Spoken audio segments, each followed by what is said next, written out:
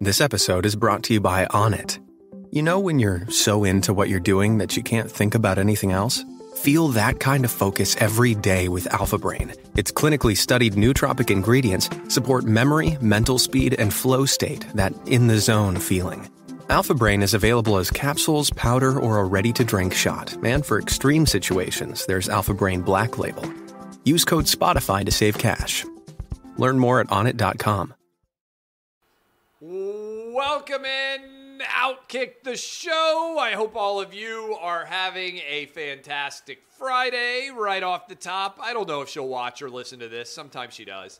Uh, happy birthday to my wife, Laura. Uh, we've got a wild night planned of eating some Italian food and watching Stranger Things 4, the finale, the final episode. Pretty pumped about it. I hope all of you are having a great Friday. I hope you are going to have really fun weekends. I got a new t shirt. I don't know how well you can see this. I'm str- uh, strutting around here a little bit. It's really simple. It just says, biology is real. I feel like the world has gone so crazy that, as one of the foremost proponents of science in all of the media, it's me and Dr. Fauci. Biology is real. That means when you're born and the doctor says, it's a boy or it's a girl, the doctor isn't guessing you're actually a boy or a girl. We'll get into this in a little bit. Do you know that's what transgender people are saying now? Transgender activists, some of them, the craziest ones, are saying that the doctor looks at the baby when it's born and sometimes gets the gender wrong. You can choose to change your gender. That's your right when you become an adult. But biology is real. Uh, and I'll talk about that here in a moment. Um, we got a lot to dive into, but I want to start. I didn't mention yesterday the Highland Park Chicago shooting. And I had a bunch of things that I said about it on Clay and Buck, but I wanted to make sure I also said it here. And first of all, we are focused on the Highland Park, Chicago area shooting because it was a mass shooting. But every weekend, people are murdered in greater numbers than what happened in the Highland Park shooting in Chicago. And almost no one pays an ounce of attention to it at all. In fact, if we eliminated every single mass shooting in America, 99% of all murders would still be occurring. That's a stat that stuns a lot of people because it speaks to the way that the vast majority of shootings are occurring, which is usually we do not have random acts of violence that lead to death. Usually, shootings are targeted and they are intentional, and there are one or two victims as opposed to seven or eight or 10 or 15 or 20. So even if we eliminated every mass shooting, we would still have 99% of the murders going on. And even if we change all the gun laws, the gun laws would have done nothing to stop the shooting in Highland Park. And that's why I want to hammer home on the argument that I made earlier on Clay and Buck because you never know who's going to hear this discussion. The kid, and I say kid because he's young, the guy who did the shooting in this case, and I want to repeat again I don't use mass shooters' names because the data overwhelmingly suggests that one of the primary reasons why people do mass shootings going all the way back to Columbine is because they want to become famous. They crave that infamy, they crave that attention. And so, one of the things that people like me and also people like you who are watching or listening to this clip can do to help limit the number of mass shootings that are going on is not make the mass shooters famous. Actually, don't use their names, don't tell their stories. So, I'm not going to do that in terms of the name. But let me just tell you this no one's talking about the parents in any of these cases. Yet it seems clear to me that based on all of the factors, I watched a couple of the videos of this latest shooter on social media. And I am not a psychiatrist, I am not a psychologist, I am not skilled at addressing mental illness. But I watched those clips and I said, this kid has got something severely wrong with him. How in the world did his parents also not see this? And I jotted this down. Police had been called to his house before because he had 16 knives, a dagger, and a sword, and had threatened to kill all of his family members. He also had threatened to kill himself. If you are so concerned about one of your children that you call the police to come to your house, how in the world did the dad in this situation go and sign to make it possible for his son to buy guns? I believe in the Second Amendment. I believe in individual freedom. I do also believe in parental responsibility. If your son is clearly mentally unstable, if he is threatening to kill all of the members of your household and also kill himself, why in the world would you aid and abet his purchase of weapons at all? So many of these stories surrounding the mass shooters, certainly there is major illness involved. Why would you ever facilitate someone with mental illness getting a gun if you're a parent. No one is talking about parental responsibility in these cases. And I understand that sometimes these shooters are 18, 19, 20, 21 years old. They're over the age of majority. But I've got three boys. Fortunately, all my boys are happy and healthy right now. But the last thing I would do if one of them appeared to have mental health issues, is help buy them guns. Why is no one almost out there at all discussing parental responsibilities when it comes to the violent acts of children?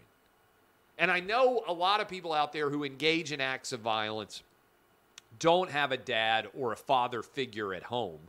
And that certainly is a big part of why violence is as high, in my opinion, as it is in the United States. We have a crisis of masculinity. We have a crisis of fatherhood. We have a crisis of men in this country. Almost everyone committing an act of violence in this country is male. The vast majority of them are between the ages of 16 and 40 relatively young men, even younger, 16 and 30, 16 and 35. So many men in this country are desperate for father figures. But I look at some of these mass shooters of late, and many of them had dads and moms at home. Why did the parents do such a bad job? And what can we do to help send the message that if your kid is mentally unstable, if, as in the case of Highland Park, you had called the police on your kid, think about that for a minute. I hope I never, ever have to do this. But a relatively small percentage of American parents are ever compelled to call the police because of threats from their own child. But if you had had to do that, how in the world would you have ever aided and abetted or facilitated your child in getting guns? You can believe in the Second Amendment. You can believe in individual responsibility and simultaneously believe that parenting is important and that parents have to help do whatever they can to not only protect their own kids, but sometimes protect other people from their own kids. And I just haven't seen this be discussed other than on the Clay and Buck show, where I talked about it some earlier this week in reacting to the Highland Park shooting. Parents are the first line of defense when it comes to their kids misbehaving. We got to talk more about parental responsibility and dads and granddads and uncles and older brothers. We got to talk more about the crisis of masculinity that exists in this country right now. Men are failing at raising, as a group, we are failing, men are, at raising healthy young men because it is almost exclusively young men who are spiraling out of control in this country. And I think there are a lot of reasons why. But I'm a big believer before you go crying for the government to get involved, before you go demanding that the police get involved, police your own house men. Do the best job of fatherhood that you can do.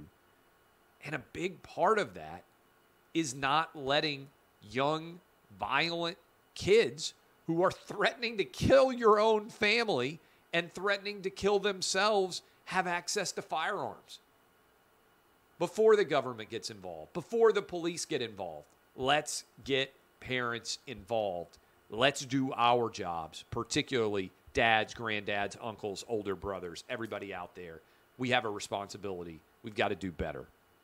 Um, a couple of other stories. Speaking of doing better, Brett Kavanaugh, Supreme Court Justice, went out to dinner in Washington, D.C. at Morton's. Now, big fan of steakhouses.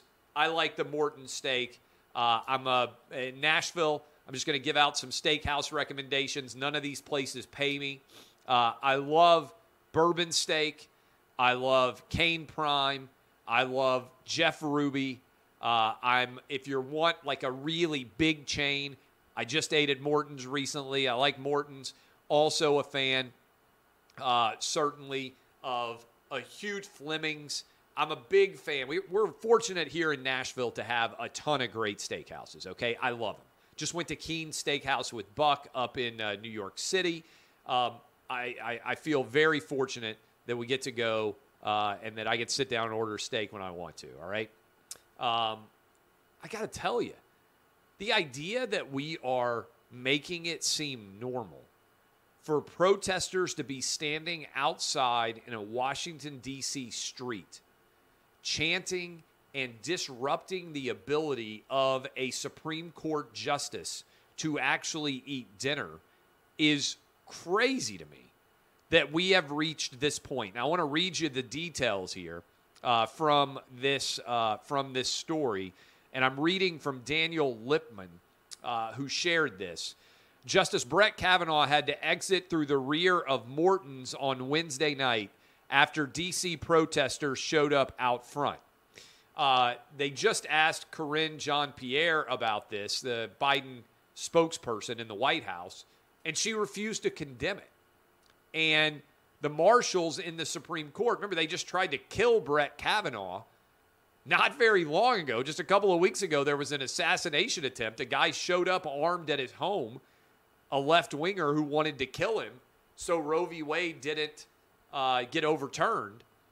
I got to give credit to Morton's here, and I'm going to talk more about Kavanaugh in a moment and what was said in Montgomery County, which is crazy because the Supreme Court uh, marshal is asking for Maryland and Virginia officials to protect Supreme Court justices. Uh, but this is uh, this is from Morton's, and I give him credit for this statement. Honorable Supreme Court Justice Kavanaugh and all of our other patrons at the restaurant were unduly harassed by unruly protesters while eating dinner at our Morton's restaurant. Politics, regardless of your side or views, should not trample the freedom at play of the right to congregate and eat dinner. There's a time and place for everything. Disturbing the dinner of all of our customers was an act of selfishness and void of decency. Bravo, Morton's. I agree with everything that you said in that statement.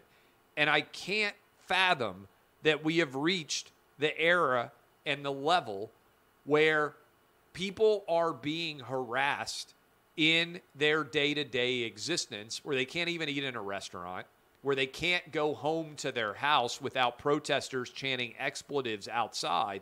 I don't care whether you're a Republican, whether you're a Democrat, whether you're an independent. I don't believe that people should be showing up outside of your homes protesting. And it's also illegal, in particular, outside of your home. In fact, the Marshal of the Supreme Court asked Montgomery County Executive Marc Elrich to enforce a local law against picketing private homes. Uh, on Wednesday, Elrich said that this was playing politics. And he even said that he believes uh, theater maybe a little bit of a response to the fact we reacted pretty negatively to what the court decision was. He said uh, that I think all you've got to do is look at Russia and get an idea of where you don't want to go. This idea where people can't gather together, and if you gather together, you're going to be arrested and taken, that's not happening here. And we need to make sure people don't use protests as an excuse for silencing opposition. No, no, no, no. Look, I'm a First Amendment absolutist. I got banned by CNN for saying I believe in the First Amendment and boobs. You don't have a right to show up outside of a private residence and intimidate someone who is trying to live their life inside, especially someone, God forbid, who's got young kids.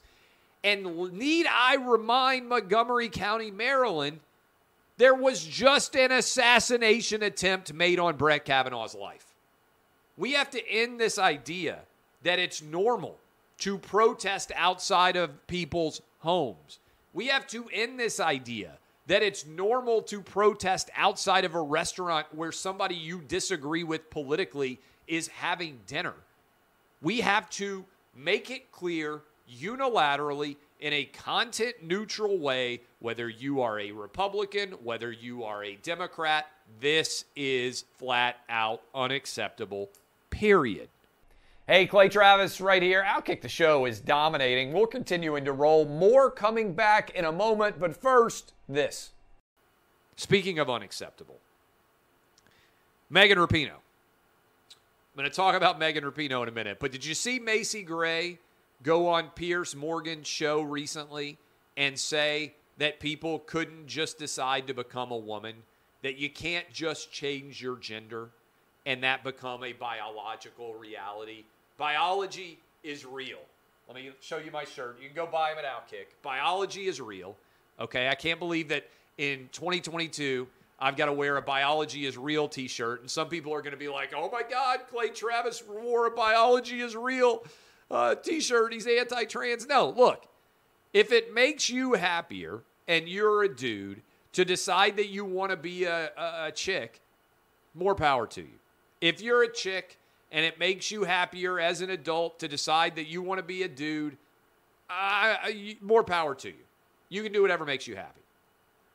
All I would point out is that Macy Gray said that. The criticism was so severe that she walked it back and basically said, You can be whatever gender you want to be. She wasn't even willing to say biology is real. This, by the way, party of science. Remember when the Democrats were the party of science? Now they're the party of you can be whatever gender you want. But here's what's going to blow your mind. And if you really want to blow these crazy transgender activist minds. Say, just ask a simple question. If you can pick your gender and you have to be respected and called that gender, and it is your right to suddenly want to be a dude instead of being a woman or a woman instead of a dude, why can't you change your gender? Like if I decided, hey, I am, sorry, why can't you change your race? If I decided, hey, I am a Filipino man living in a white man's body. Why is it unacceptable for me to change my race, but heroic for me to change my gender? After all, if you were going to decide to switch one or the other, it seems far easier to change your gender sorry, change your race than it is to change your gender. I have, I think, a lot more in common as a white guy with black guys, Hispanic guys, and Asian guys. Just based off being a dude, I have more in common with them, I think, than I do with a white woman just because I happen to be a white guy. In other words, if you had to pick, gender to me seems to be more significant than race. Because after all, many of us are made up of a variety of different races. Yet it is racist. Remember Rachel Dolezal? Rachel Dolezal was working in the NAACP up in Washington State. Turned out she was just a white chick, and everybody was furious at her. The idea that she would feel like she was black, Shaun King's made an entire career out of it. Changing your race is racist and unacceptable, and you should be canceled if you do it. But changing your gender, totally acceptable and heroic. Just wonder how that ever came to be, since changing your race seems far less significant than changing your gender. Speaking of gender issues, Megan Rapinoe recently came out and said that she thought people just need to get over it if someone is transgender and wants to play high school sports. She actually said, Your daughter's sport just isn't that important. Now, that's an intriguing position to take because it implicitly acknowledges that biological men who decide to identify as women have a huge competitive advantage. Something that I would think someone like Megan Rapinoe would know since the U.S. women's soccer team was beaten by 15 year old boys in Dallas, Texas. A 15U boys team crushed the U.S. women's soccer team. Men are better athletes than women, and it's not particularly close, such that even young adolescent boys are better than fully grown women soccer players who are the best soccer players in the world. Megan Rapinoe got the Presidential Medal of Freedom from Joe Biden, despite the fact that she said high school sports don't matter for girls, transgender rights matter more. That's what she said. That's her argument. She's entitled to it. I think she's 100% wrong. All of you, and I'm writing this in my most recent book that I'm working on now, all of you are going to have to make a similar choice. Do you believe that men and women, athletics shouldn't be separated, and whatever gender you de- decide to identify as, you should be able to compete? Or do you believe in women's athletics? You can't believe in both. Everybody's going to have to make a choice.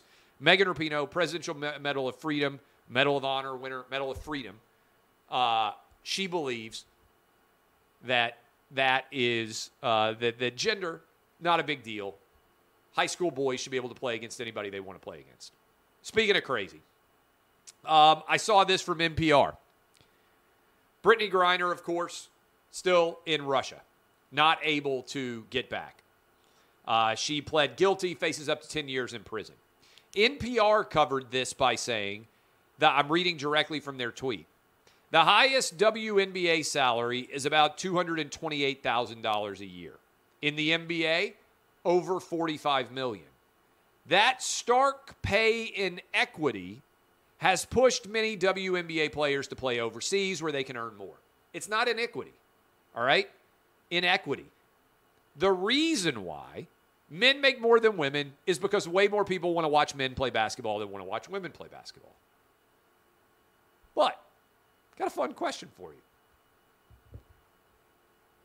What would happen if the WNBA and the NBA salaries all got equalized? Because after all, guys, girls, they're just playing basketball.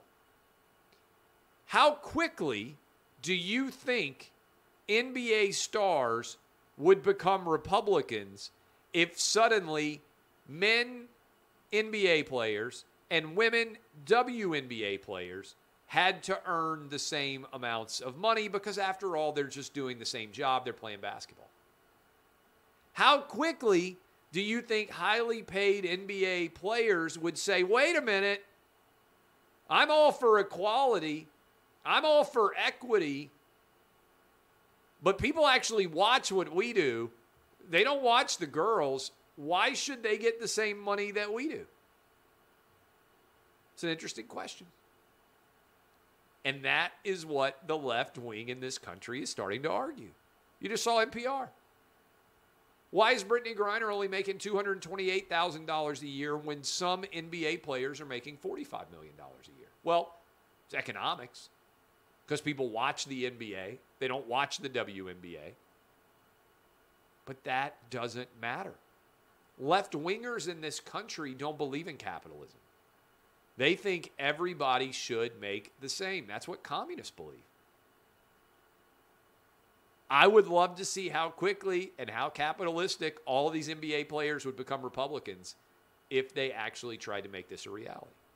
Just worth paying attention to because that's what NPR is implicitly arguing, basically directly.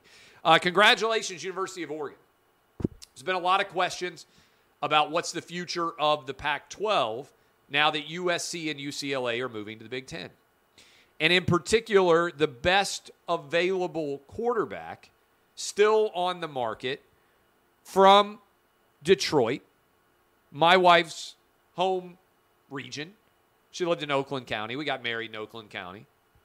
But I love Michigan, especially northern Michigan. I'm going up there at the end of the month uh, on vacation with my family. Dante Moore made the decision from Detroit, five star quarterback, to pick Oregon over his hometown Michigan Wolverines. It's a huge win for Dan Lanning and Oregon. We don't know even what conference necessarily Oregon is going to be in going forward, but Jim Harbaugh, who really, let's be honest, has not, for all the years he's been at Michigan, had a truly elite quarterback to coach. That was his calling card when he got to Michigan was, well, he'll be able to find a really good quarterback. Dante Moore gave the Heisman to the University of Michigan and is going halfway across the country to the University of Oregon. Pac 12, now Pac 10, gets a big win over the Big Ten. Dante Moore leaving uh, the state of Michigan to go all the way to Oregon. That's a big win for the reputational aspects associated with Oregon football right now. Couple of good news uh, stories here, or a good news story. Roger Goodell told CNBC today that the NFL Sunday ticket is finally going to move entirely to streaming, that you will no longer need a DirecTV subscription in order to get the NFL Sunday ticket. And I have to say, in response to this, hallelujah. Do you know how many people out there, myself included, have been super frustrated to be living outside of the region or traveling outside of the region of your favorite team and not be able to just pick up your phone or your iPad or where your laptop, however you stream when you're out of market, and not be able to just watch your favorite NFL team. It is infuriating that the NFL Sunday ticket has had that exclusive rights for as long as they have, and that you have to have an NFL Sunday ticket package. You have to have a DirecTV account, or you have to go out to some sports bar. And if you're a Titans fan like I am, the Titans game is never on. You can never hear the audio. I am ecstatic that Roger Goodell announced today this is moving off of DirecTV exclusivity and will be available. We still don't know. Maybe it's going to be Apple, maybe it's going to be Amazon, maybe it's going to be some combination of each. That you will soon be able to choose your NFL Sunday ticket option. Hopefully, wherever you are in the country or around the world, you'll be able to watch your favored NFL game. And I know some of you are going to respond, well, I just watch Red Zone or I just watch uh, the uh, the whatever streaming service you have that's the equivalent of Red Zone. Yeah, I get it, but I want to watch every snap of my favorite team play. So when the Titans break my heart, I'm able to see it happen in real time. Finally, Joe Biden spoke earlier today, and it's embarrassing. I don't know if we can intermix for the clip going forward Joe Biden's gaffes. He had three or four really bad ones today in his speech. In particular, he read inside of his speech, repeat the line, which was a clear instruction to him that he was supposed to repeat the line in front of him, not repeat the line as in the instructions. But Joe Biden has gone full Ron Burgundy. I said earlier, I'm not a medical expert, but I can recognize when someone is on a rapid decline, and Joe Biden is not well. There is a strong issue with Joe Biden, in my opinion, based on all the video that I see, with his communication skills, with how detailed the instructions have to be in order for him to do his job. And he's only going to continue to accelerate and get worse over the next 30 months, in theory, of his tenure as president. I don't know how we're going to be able to finish Biden's tenure. And I certainly am not in favor of any president dealing with the cognitive issues that he has, regardless of party, because it makes America weaker. China, Russia, whoever, North Korea, Iran, whoever our adversaries are, whoever our enemies are, they are going to take advantage of the decrepit nature of our president. And right now, Joe Biden can't even read a teleprompter. Can agree or disagree with a large variety of things that I say on a day to day basis. I just went over 30 minutes with about 20 words written on a notepad in front of me. Joe Biden couldn't do this. Joe Biden right now could not sit down in front of you like this and give you totally unscripted 30 some odd minutes of opinions. I don't think he could do it. Certainly couldn't do the three hour radio show that Buck and I do every day. It's a disappointment. It's sad. It's unfortunate. But this is where we are as we continue in the Biden regime. I appreciate all of you. My name is Clay Travis, DBAP unless you need to SBAP. Happy birthday one more time to my wife. Can't wait to watch the end of Stranger Things. This has been Outkick the Show. I will see you guys on Monday. Have fabulous weekends.